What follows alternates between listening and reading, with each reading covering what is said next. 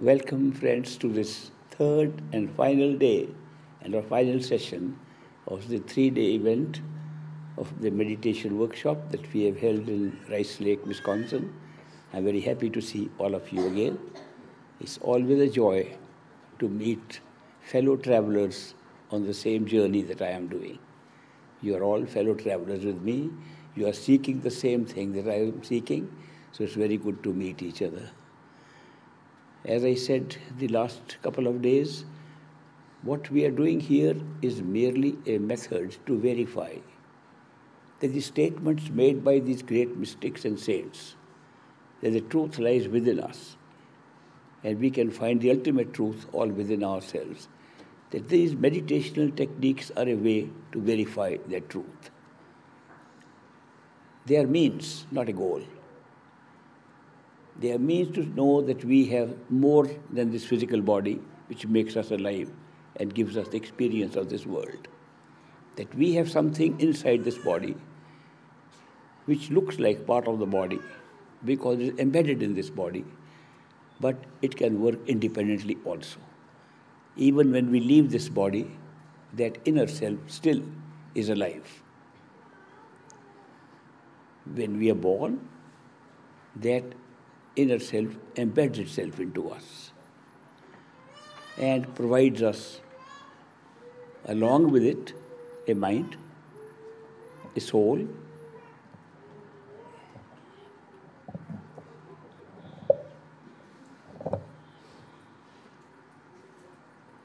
Thank you. A mind and a soul which keeps it alive, and also it helps us to see the world, touch the world, hear the world, and use sense perceptions. These sense perceptions are independent of the physical body. Though, if we have no knowledge of something existing beside the body, we think they are dependent upon the organs of this body. They are not. Because when we die, they still exist. You can still see with no body. But you don't feel you have no body. You feel still you have a body. But it has no matter in it. Now, am I just saying something based on hearsay? No. All of you can verify it. You don't have to wait till you die to verify it. You can die while living, which means you can have the identical experience of death while you're here. So, dying while living provides you proof that there is something more than the physical body that constitutes our total self at this time. And that is why these meditational practices help us to verify these truths a large number of people have been able to have some experiences by which they feel there is something else. Some people have had secondary experiences, like they say a person died, but we feel the person is still in the house. They say this house is haunted. And we can see the spirit. Sometimes we can see the spirit and it disappears. Sometimes those spirits open doors and windows. They try to at least open doors and windows, but they can't do it because they don't have the matter in their body. But they try to, with their energy, try to do those things. A friend of mine, I hope I have his permission because he's in the audience. he was looking to buy a house in Chicago area and then suddenly the realtor told him a very nice house is available, owned by a lady who just died. And the children are far away and they are not interested in the house. They say, sell it as it is, along with the furniture, along with some unopened equipment like computers. So it was a great deal. And he told me it's a great deal coming. I said, that's great, buy it. So he bought the house.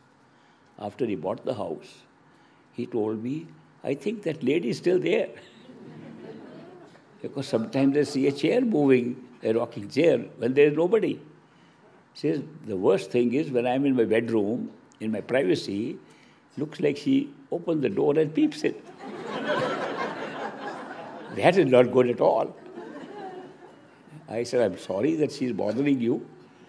I'll come and try to help you. I went and told the lady, of course, invisible. I said, please leave this man. He's not used to these things. So the lady left for two months. I, could, I couldn't find any other place, so came back. then I said, she must be missing the fact that her children never cared for all the things she left behind, not even the house, not even the furniture.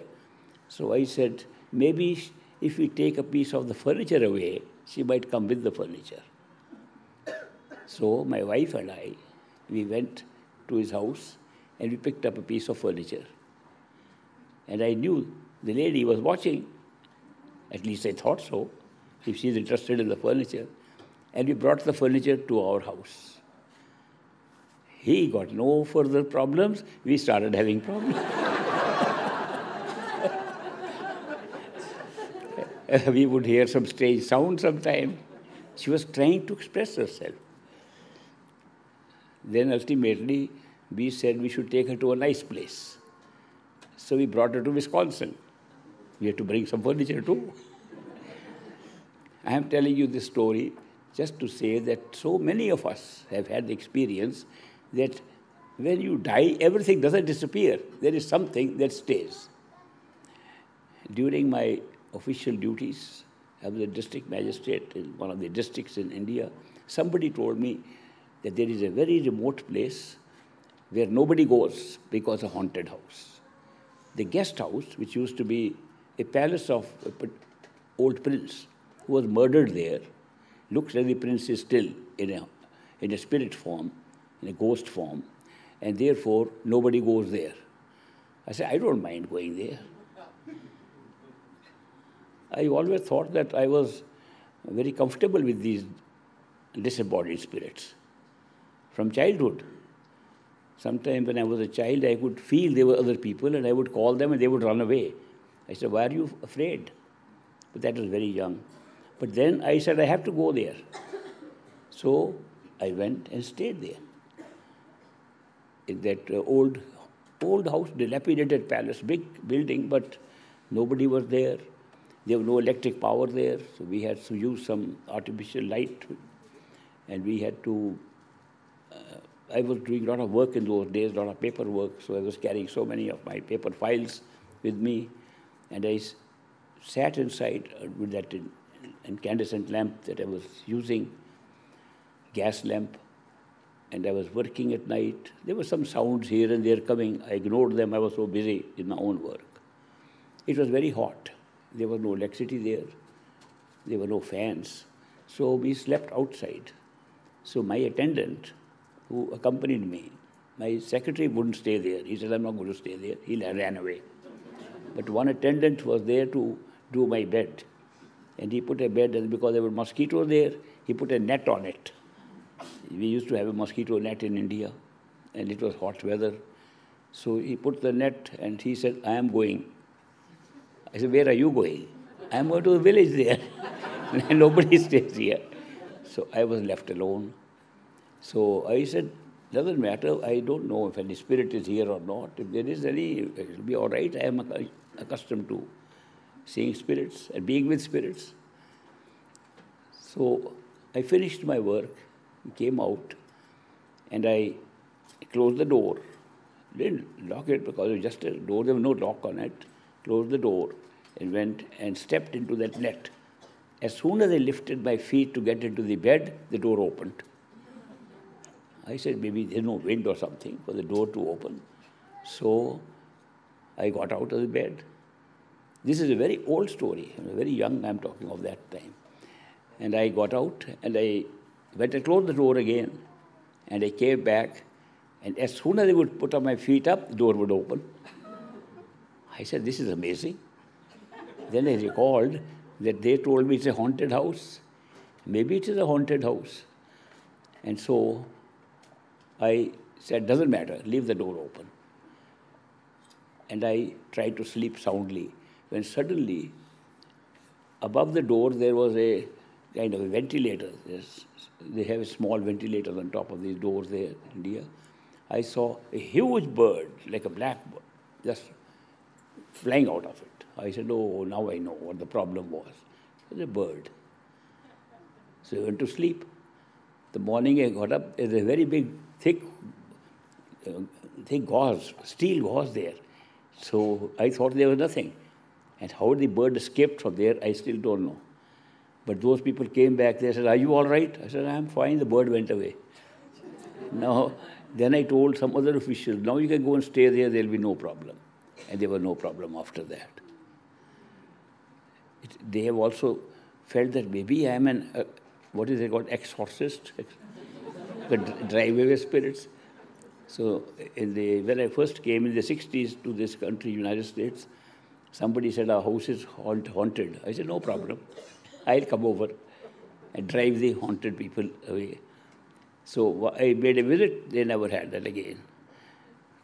The point I'm making is that there are examples of such experiences by many people who feel that when we die, something remains. It is not visible to us. But can we see them while we are still in the body? If they can see us, they can try to contact us. And they do try to contact us. All these things that we are he- hearing about their activities is they are trying to contact us. They're missing us. Maybe we are missing them too, and that's why they are missing us. That is why people come and tell me, my mother died, and I'm missing her. I said, please don't. Don't hold up her progress. She probably wants to go to a higher place, in a better place. You're holding her back. Because if you're missing her, she'll miss you. You wish her good journey, wish her the best. Say, whatever is happening, I wish you, I pray for the best for you. I say that to all the people who ask me about people, uh, their seniors or elders who passed away. That help them to make further progress instead of trying to pull them back. Some people cry so much, we want you back, we're missing you. And they, with that attachment, try to bring them back. Now the question is, is it possible to verify that there is life after death? I'll tell you another interesting story. Maybe I, I should be a storyteller only. True story. This is right in the beginning, in the 60s, when I came to the United States. I had to give a talk in Detroit, Michigan. And I came on a fellowship. I came to study at Harvard University. I was in Cambridge, Massachusetts. And I knew many people who had their satsang centers or they had centers where they had meetings. So some of them invited me. But the Detroit one, they had a Ford Motor Company headquarters there, and the Ford company was responsible for funding part of the fellowship that, on which I came to Harvard. So they had arranged for me to visit their factory in Detroit.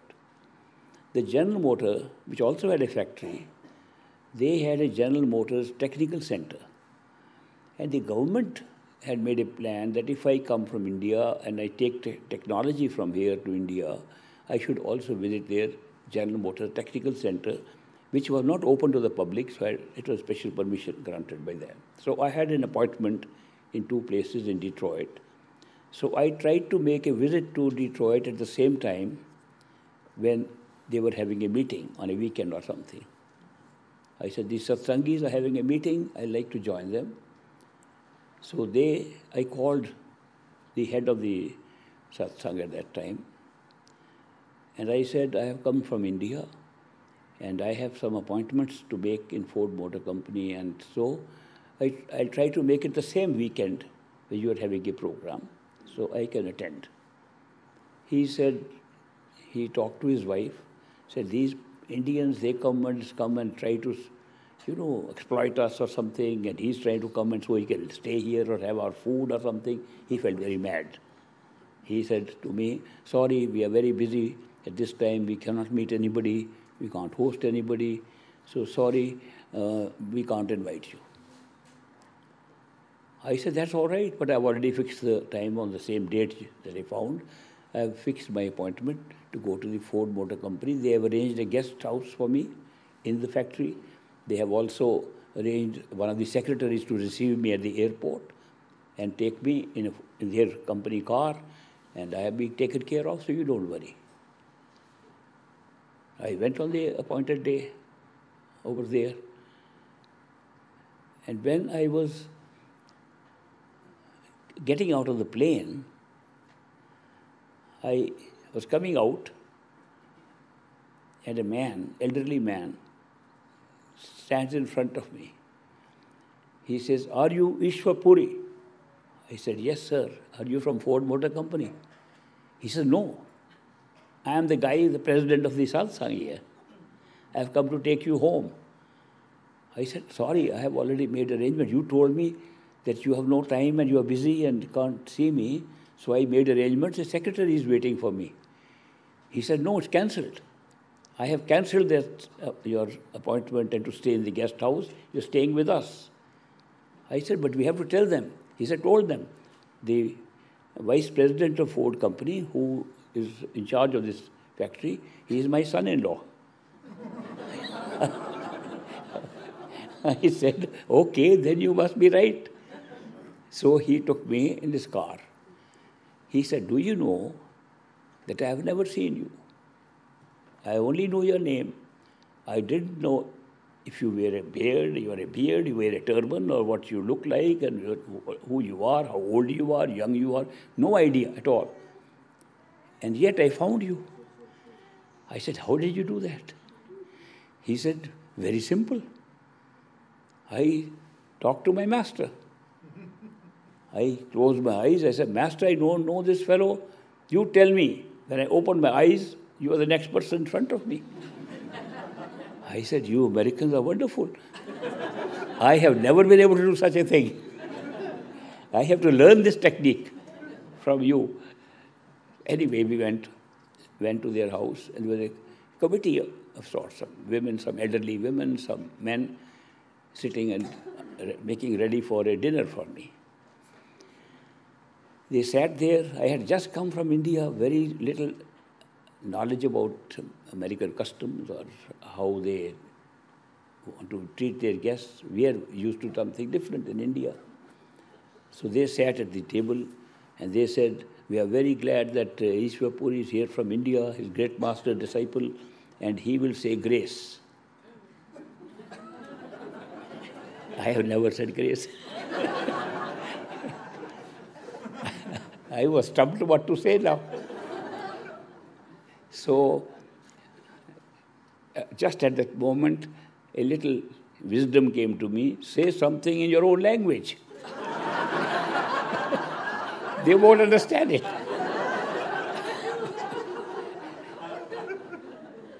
so I said loudly, very loudly, I said in Punjabi language, Chako ji khana. that we eat it up now.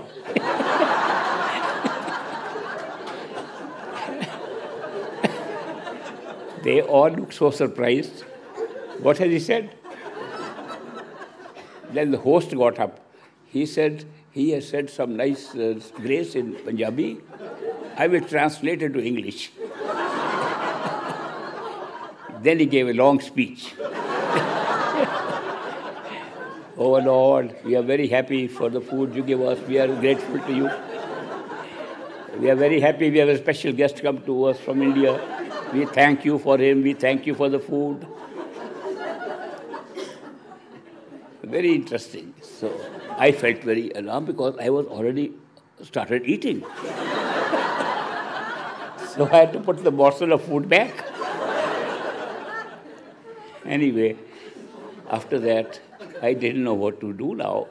So I began to say, they, they are saying thank you, thank you. Maybe, maybe we should have thanks, thank for the food. This is a nice, nice thing they are saying.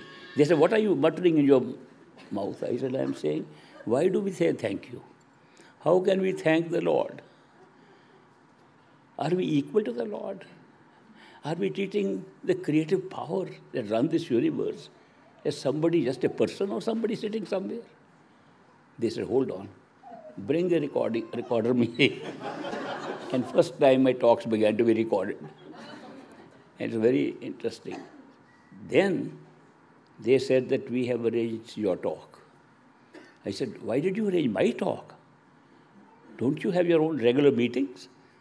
They said, the regular guy comes, his name is Mr. Replogle, he comes from Chicago and he's sick. Then we have an alternate, a backup, who lives here, he's gone to India. Then third, one of us comes and that also person is not here. So we couldn't find anybody to speak. So this committee, which is now having dinner, decided, okay, this fellow is coming from India, let's get him. That's why he will tell some stories about India. So that is why we are asking you to now speak. So it was a Veteran Memorial Hall in Detroit. They had a meeting. They took me there. And there, I, I, I got up and spoke. When I spoke, before I spoke, I just closed my eyes for a minute. Because large unknown audience, but anyway, I did speak something, and there, this host was sitting in front. When I finished, he got up to thank me, and he said, I know what you did. You closed your eyes and you asked your master, great master, what to say. And he must have told you what to say, because it looked like great master's talk. I said, I tried. I said, let me try the American way that you could find me by closing your eyes and asking. I said, I'll also close my eyes and ask Master, what should I tell these people? And when I closed my eyes, my master said, Who are you to be my spokesman? he almost got a slap from him. it didn't work for me. he said, If I have to speak, I can speak. You quietly sit down. So I quietly sat down and what you heard was in my body, but great master's voice. So that is why you felt like this. But it is not something. Now, while this was going on, there was a man at the back standing, a Jewish man, Canadian, but then he became a US citizen later. He was standing at the back. I could see him at the end of the hall, just standing and smiling all the time. I had no idea who he was.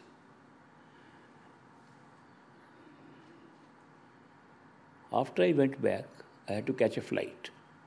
I went back to Boston, and at midnight, 12 o'clock, a phone rings.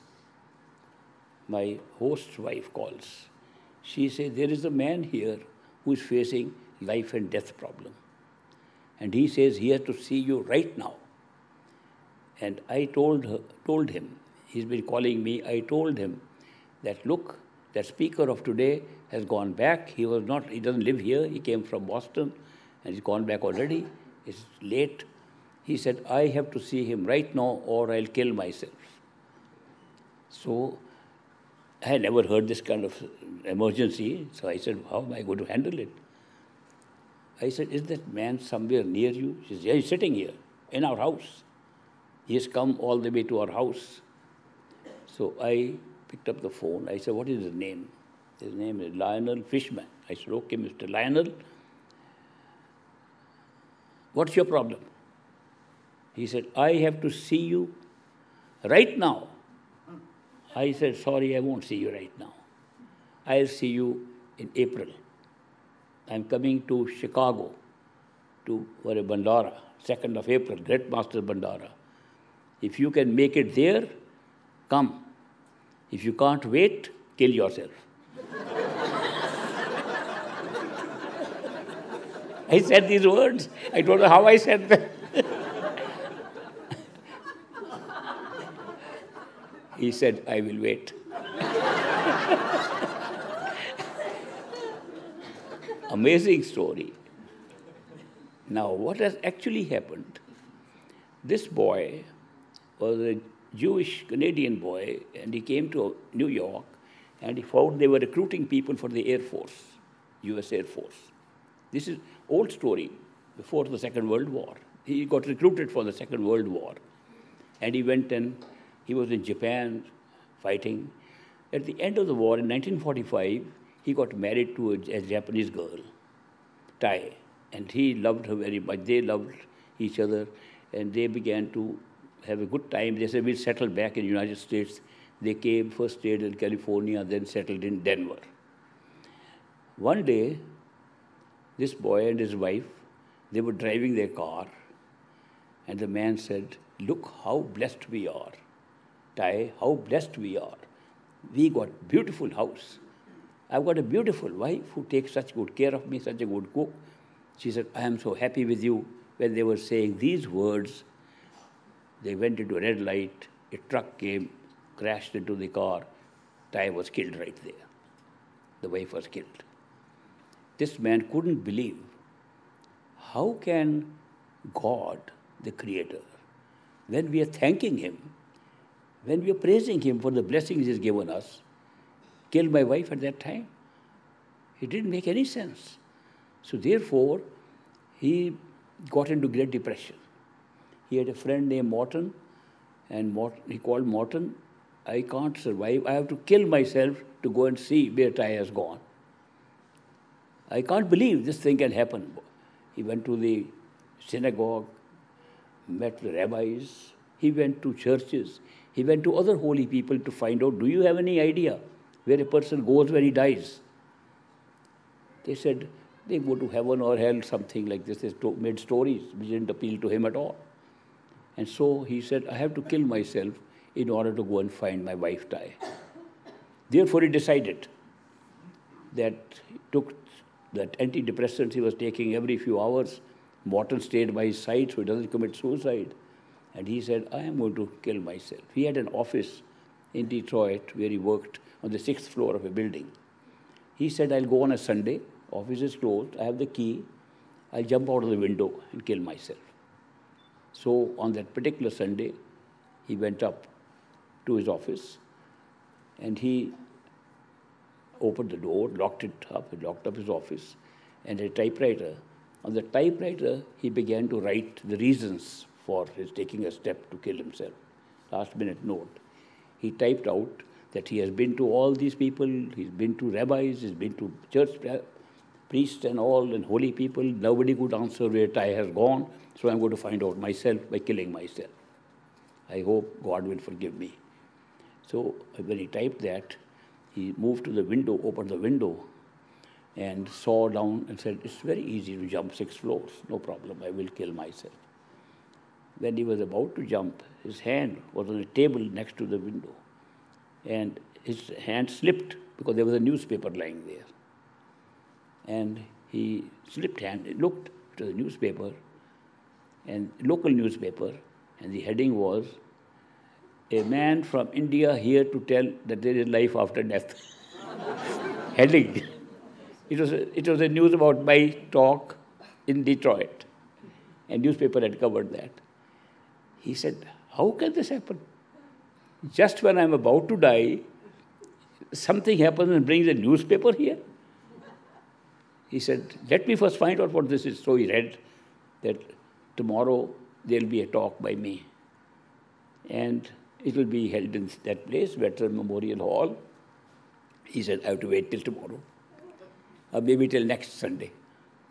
So he waited. Now, this is all before the telephone call, which I'm telling you. So he decided that he is to wait till tomorrow. Suddenly he realized newspaper is on Saturday. And the talk was the same day at 3 o'clock. So when he found that, he rushed because he could hardly make it in time. Meeting had already started. I was already speaking when he arrived. He was a boy standing at the back, which I saw. He tried to come forward,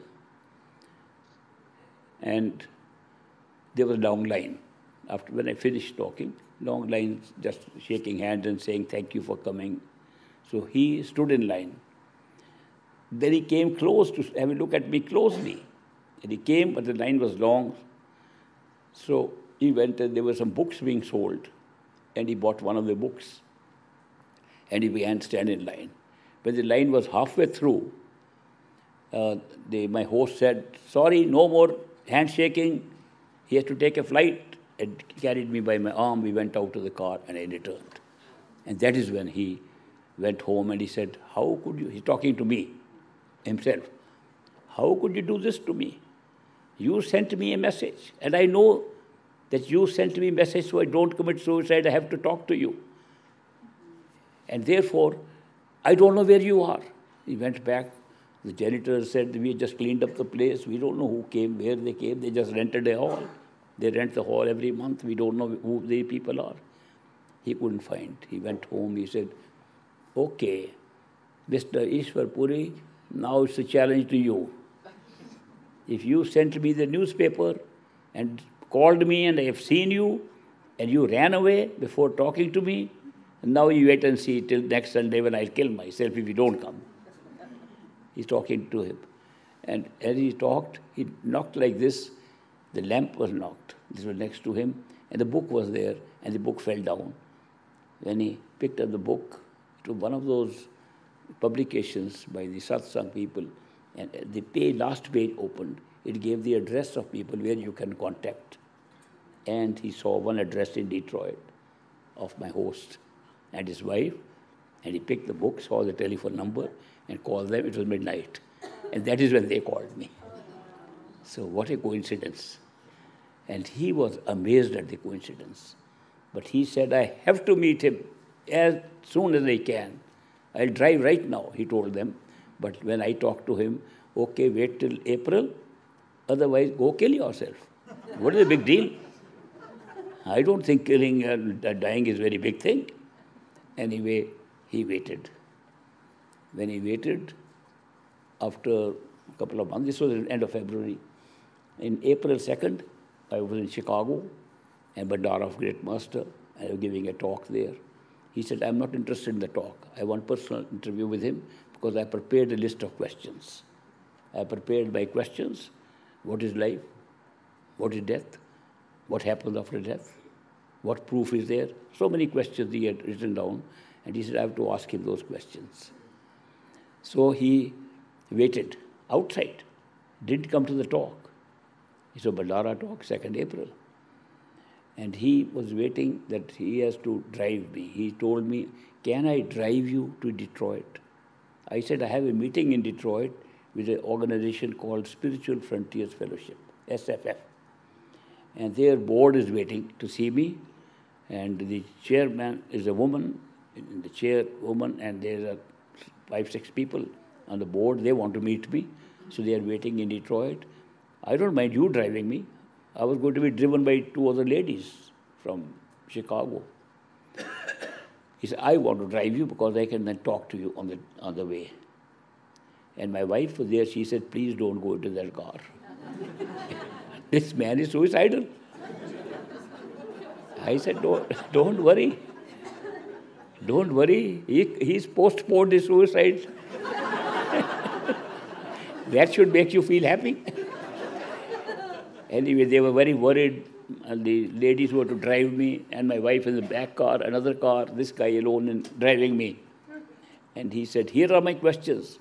At that time, this was a new drive for me. I never had a drive from Chicago to Detroit. We go over a long bridge, Skyway or something. And so I said, Can't we wait till we get out of town?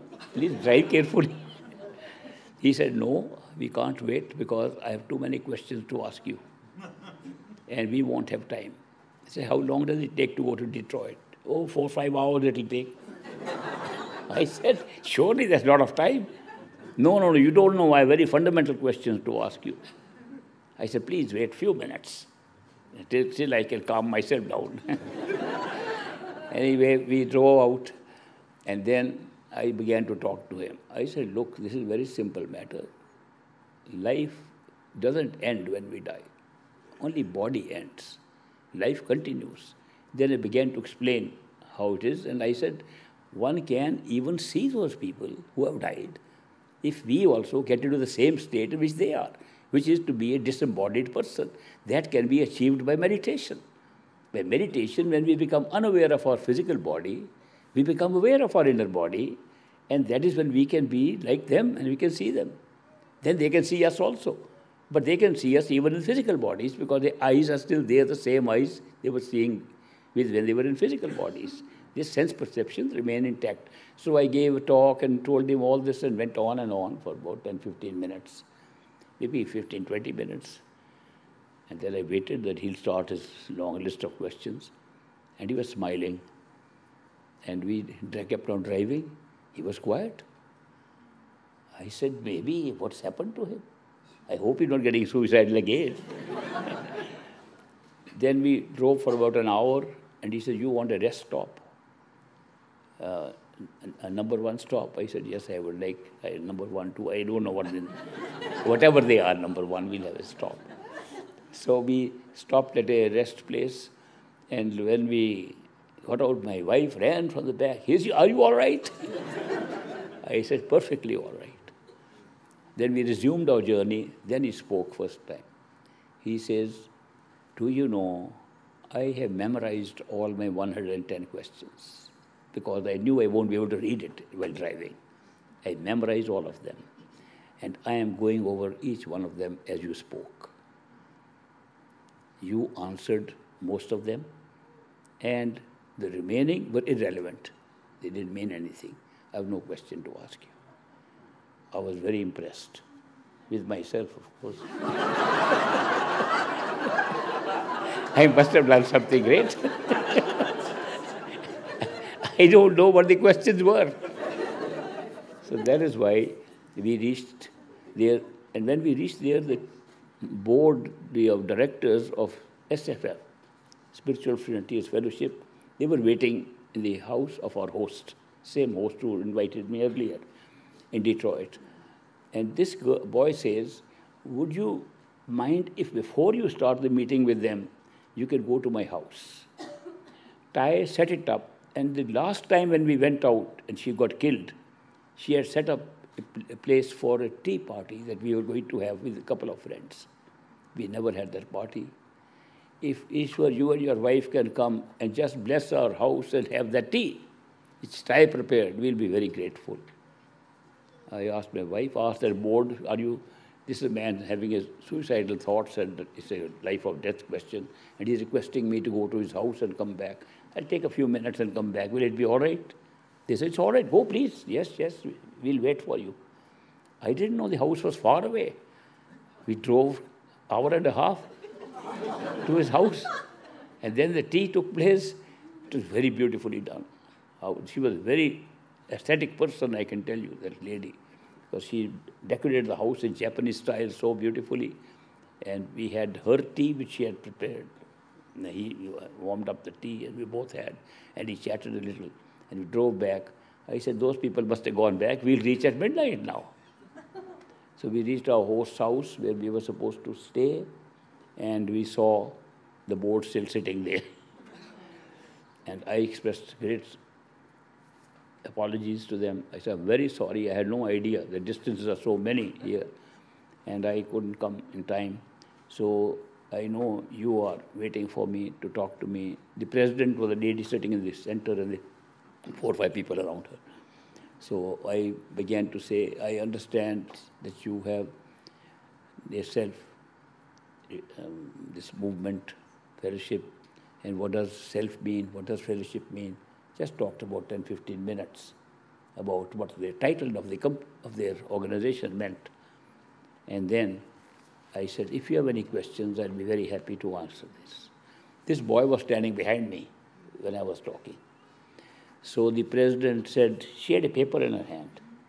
She said, I have no question. You have answered my questions. Then she asked the other members of that SFF, do you have any questions? No. The boy laughed in the back. That's what I was waiting to hear. That's happened with me. this is, of course, he did, he got initiated, he got such good progress, and he was able to see his wife.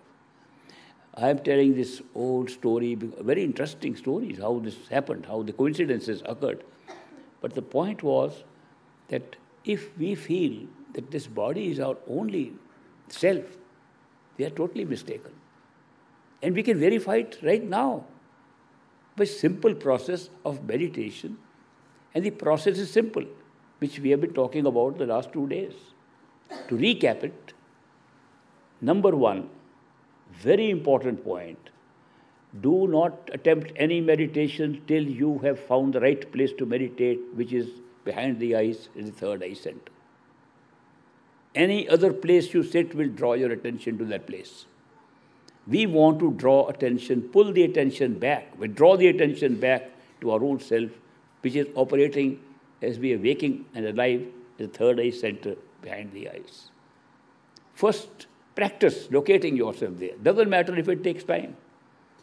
Practice locating yourself behind the eyes. Just see what happens if you feel you are in the head. What other experiences are happening. Let the mind think what it like, you watch it, watch it. Let other pictures come, you observe them. Let old memories come and go in front of you like a TV screen, just watch them. But stay in the center. Practice to stay in the center of the head when you are comfortable. And you can go any time and feel comfortable that the rest of the body is below you, around you, the ears are in of you, eyes are in front of you, you are in the right place, then only start meditation. Very important point. I missed several years after initiation by not understanding the simple point. And now I find there are some people who didn't miss several years, they missed 40, 50 years without getting any benefit in meditation. A very important point. Second point mind thinks, therefore distracts us. Mind is the only obstacle that is coming in the way of your discovering yourself. No other obstacle. There's no enemy outside of us on a spiritual journey except our own mind. Therefore, deal with the mind by repeating your Simran mantra, repeating the words that have been given to you by your own perfect living master, if you have been lucky enough to have those words. Because those words, when you repeat, are not only simple word to substitute the words of thought, they also carry an empowered quality, very empowered quality. They do not allow negativity to come while you are repeating them, even the negativity of your own mind. Very useful. If you have been initiated by a perfect living master and he's given you some word to repeat, they are not ordinary words anymore. They become empowered when you are initiated. And those words prevent negativity to come. Even you can use them for outside negativity, it'll, it'll go away. So that is why use those words and repeat them with the mind, not with the tongue. In the beginning, you start with the tongue. You can't help it. Later, the tongue will move along with your repetition. When you think, tongue doesn't move. How come when you want to repeat those words with the mind, the tongue moves alongside? Because the mind doesn't want to pick them up. The mind resists. Mind will fight. Mind is the only thing that fights you during the spiritual exercise. So therefore, practice repeating those words in the mind. Next point, when you repeat, repetition is not enough. Listen attentively to those words. Listening attentively draws you to yourself because the soul, your real self, is listener, not the speaker. To speak, it has been given an agency, that's the mind. So that is why when you repeat with the mind, listen attentively. The more attentively you listen, the more you are drawing your attention behind.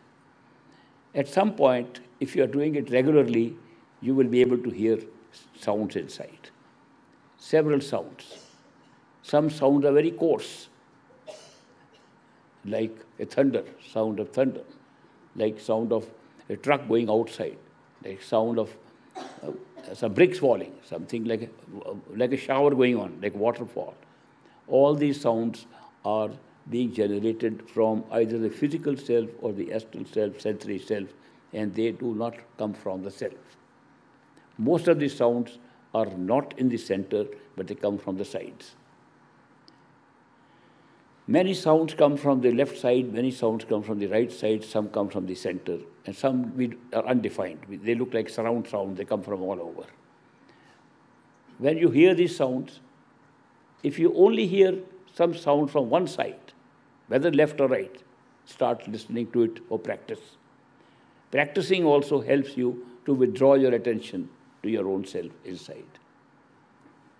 And once you are able to withdraw attention to some extent, the real sound will start coming from the self.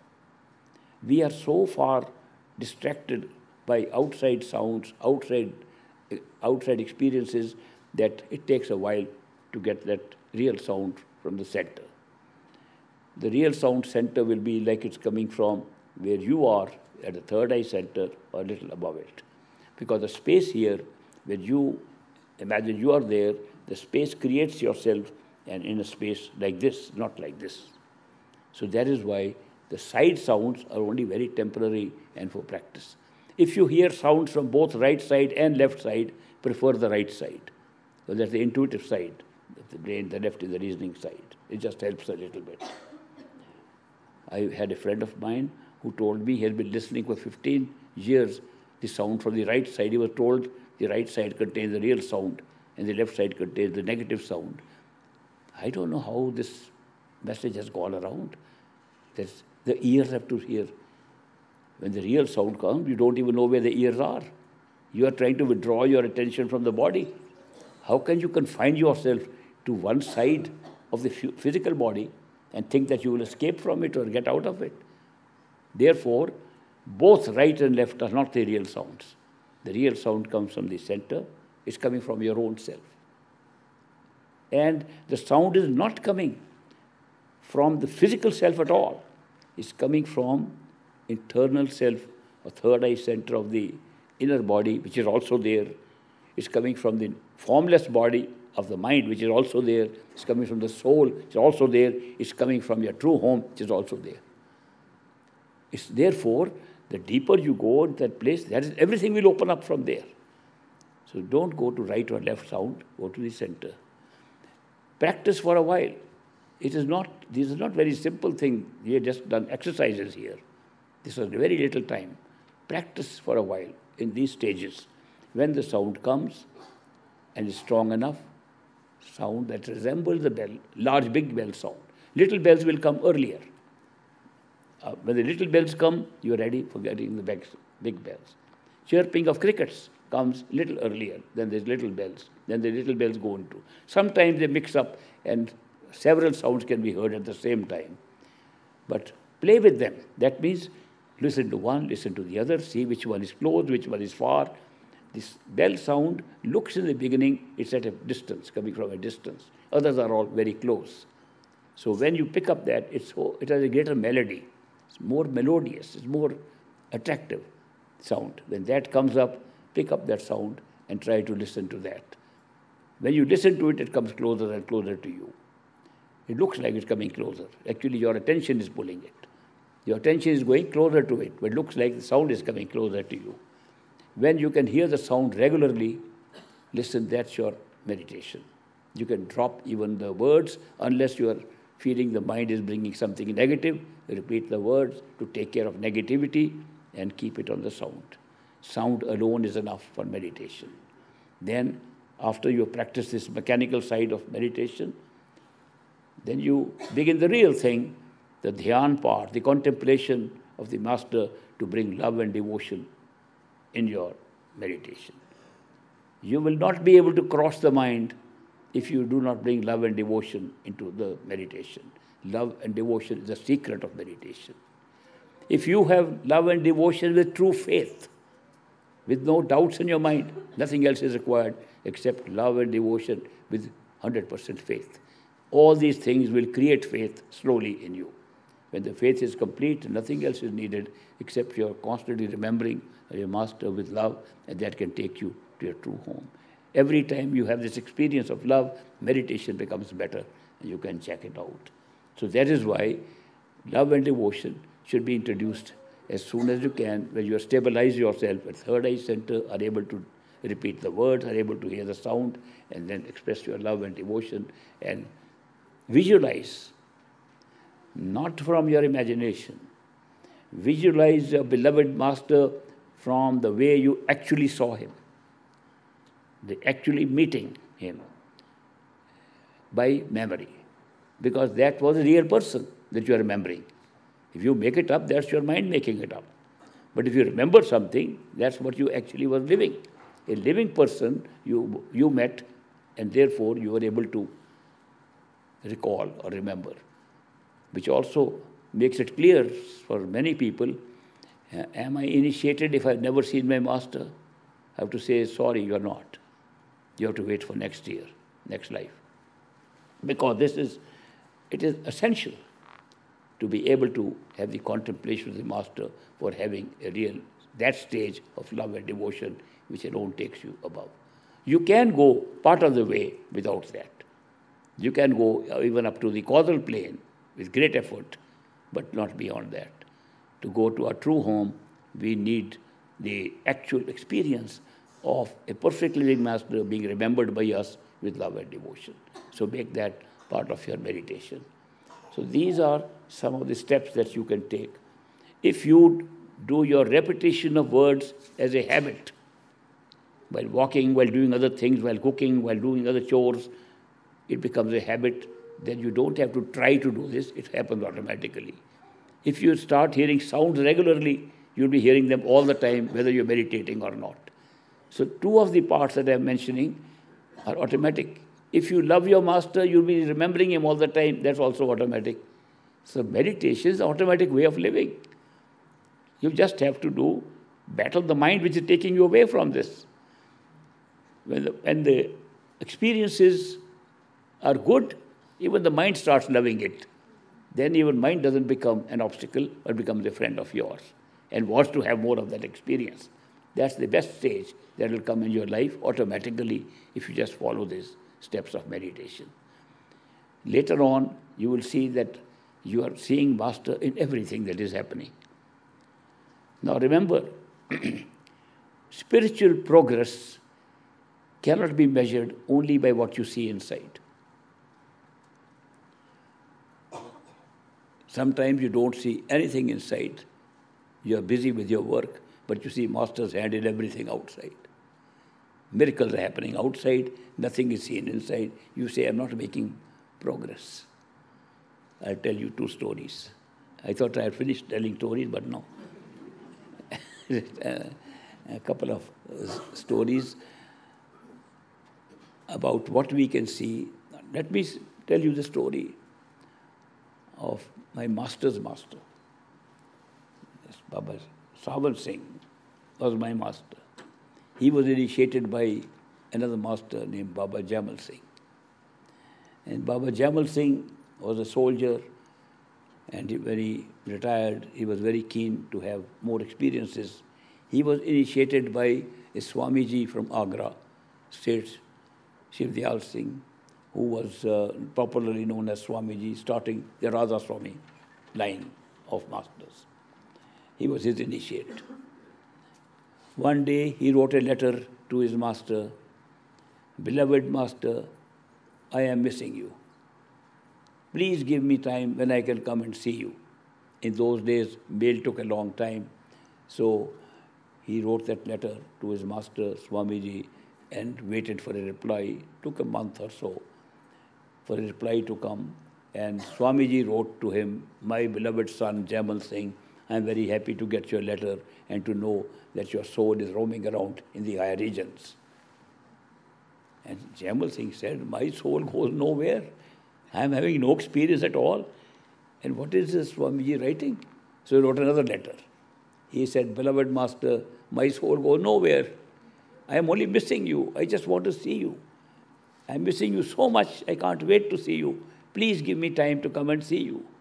This letter which you wrote must be for somebody else. He got another reply. He says, Beloved son, Jamal Singh, I'm very happy to know that your soul is roaming around in the higher regions. And so far as coming to see me is concerned, you can come in the first week of next month. He said, How can Swamiji write these two letters? My soul is going nowhere. And how did he write this? So he takes those two letters with him and goes on the first week of next month to see his master, Swamiji, in Agra. And he goes there and places the two letters at his feet and he says, Master, you sent these two letters. They were not meant for me. My soul did not go anywhere. The Swamiji said, Oh, really? Let's go in and meditate a little. The 10 15 people were sitting outside. He was sitting outside it was good weather. So he took Jamal Singh inside his chamber for maybe half an hour or so. And they both came out. And then Swamiji said, Now tell me, Jamal Singh, when I wrote that letter that your soul was roaming in higher regions, was it roaming in higher regions? Yes, Master, it was. I am not asking whether your soul was roaming around in the half an hour we meditated. I am asking, did your soul roam around in higher regions when I wrote the letter to you? He said, Yes, Master, my soul was roaming around at that time when you wrote letters. Other people were surprised what they are talking about. So then Swamiji explained to the other people. He said, We have come with a bundle of tasks and obligations called karma. We have our life in which we have obligations and we do a lot of things in this physical world to fulfill our karma. We all have to do it. Some have a heavier load, some have a slightly lighter load. We all have a load, and obligations require that we have to work outside in this physical world. Masters know that. Therefore, while you are busy there, if your attention is pulled into higher experiences all the time, you may not be able to fulfill all the obligations required outside and therefore may have to come back again just for the sake of fulfilling some obligations. Masters don't want that. They want you to clear your accounts here before you go to a true home. Therefore, they put a blinder on you sometimes. While you're having an experience inside, that's what makes you feel you're missing your master.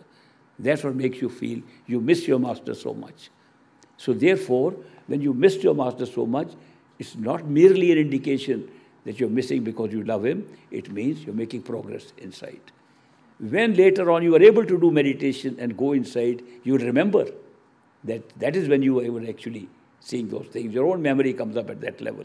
And you remember when you are missing Master, that's when your soul was actually ascending inside. But the blinders were not letting you see it. So then the blinders are removed, you can remember yourself where you were. So this is an example which he gave that we do not always have an internal spectacle to judge if we are having a higher progress in our meditation. Sometimes external experiences tell us, our feelings tell us what is happening. More and more coincidences take place when we make progress on meditation. So there are several ways in which you can judge progress. So do not worry if you have come to believe only inner visions can tell us if we are making progress. That is not true. If your, if your jobs require more work outside, then inner visions can come later on at the right time. But you pay off your karma and you pay off your accounts that we have to pay to negative entities who run this universe. We are not in our true home. We owe something here. Let's finish our accounts and then we can go back.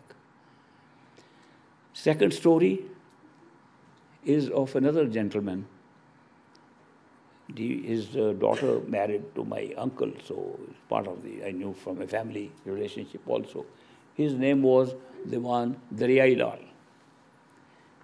He's written some books, very nice books on spiritual path. He was working in one of the small states, Kapurthala state, which is very about 20 miles away, very close to the Dera, where Great Master gave his discourses. So Daryai Lal was a finance minister of his state. He was a judicial officer, he was a judge for a while. He was also on um, some other high positions in the state, highly educated person. And he was following the master, was initiated by him. When he retired from his job, he came to Great Master. He said, Master, I have retired. I want to be around you here now. So give me some seva, some service to do in the Dera. Great Master said, Diwan Sahib, Daryai you are such a highly educated person, have so much experience, you can take any job you like. You can become the secretary of this organization. You can take care of all the administration that is run here. Whatever job you want, you can take. And Daryai Lal said, No, sir, I only want to be your doorman. If I can stand outside your door. And I want that job. Great Master smiled. He said, All right. And the rest of his life he spent standing outside the door of Great Master's house. he was very happy. He saw people with tears in their eyes, with so much love and devotion coming to see great master. He couldn't believe there can be such so much devotion existing in this physical world. And it was very inspiring for him. And he did that seva with great humility, one of the most humble people I have seen. Wonderful person. After a few years, he tells Great Master, Master, I have enjoyed my job that you gave me. The seva was so wonderful. But I suddenly realized I missed out on my meditation. Instead of meditating, I was just standing outside your door. I understand, Master, this summer you are not going to your usual hill station where you go every year, which is a town called Dalhousie. And you are not going to Dalhousie this year. Can you please give the keys of your house to me? I'll go for three months and I'll meditate every day and catch up with what I missed out. Great Master said, Certainly, here are the keys, go. So he took the keys of Great Master's house and went up to that beautiful resort, Dalhousie, and he said, I am going to meditate for three months, day and night, and catch up with all the lost, lost time. They could not meditate earlier.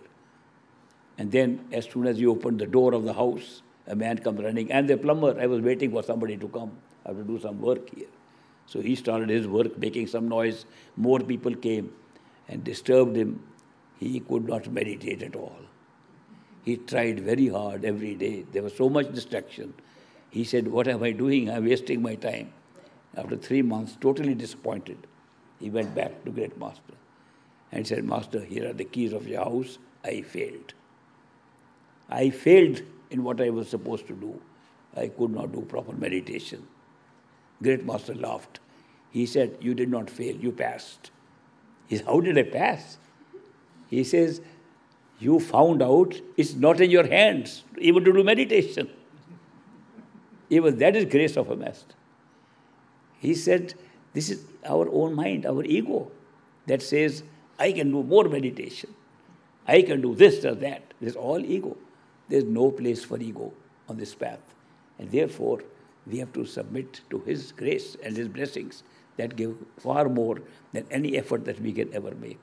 So he passed. Now, here again is an example where we start thinking it's the meditation that will give us everything.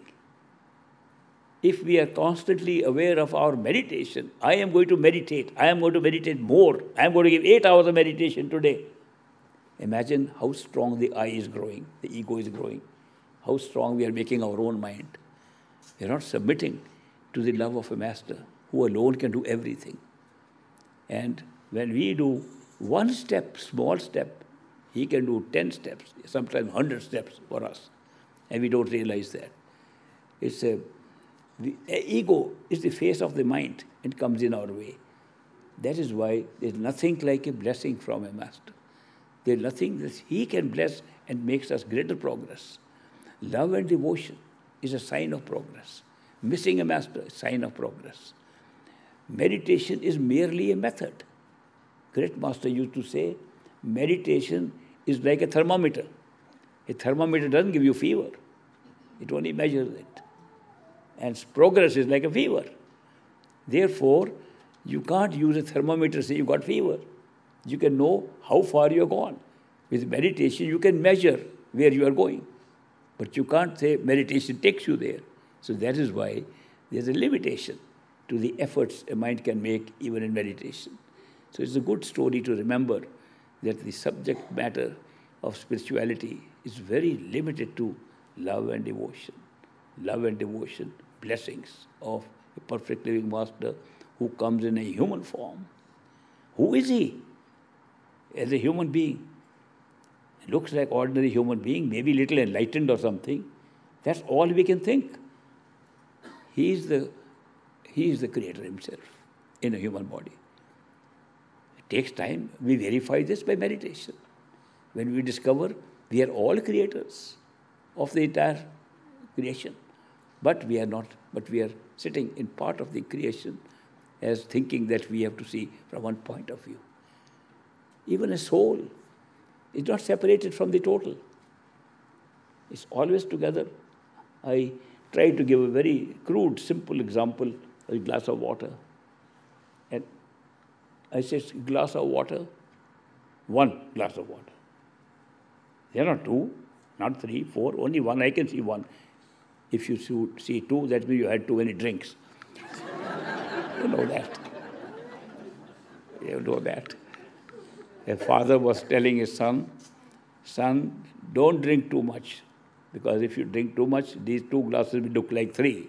He said, Dad, I can see only one. this glass of water, this glass of water contains drops of water. I can see very small drops of water hugging each other and all loving each other and beautifully sitting in this glass of water. I can also see just one glass of water. I can see one and I can see many. What is making one into the many? Nothing here in my awareness. My awareness is making the one, my awareness is making the many. I can reduce the size, very small drops. I can make bigger drops. Awareness is creating. I shrink my awareness to one little point and say, one drop of water. All are together. Our souls are like that in our true home. The souls are all one, but they're made into separate for an experience of love. That is the whole thing, but they're all together. They're loving each other. They're all together. They're beautiful experience. The one and the many are the same. And then we are talking of a state where there's no glass and there's no space and time. It's all happening in the one. So that is why, please do not think that the meditational techniques by themselves will lead you to a true home if there is no blessing and there is no help from a perfect living master. And moreover, as I said in the beginning, I gave you the truth.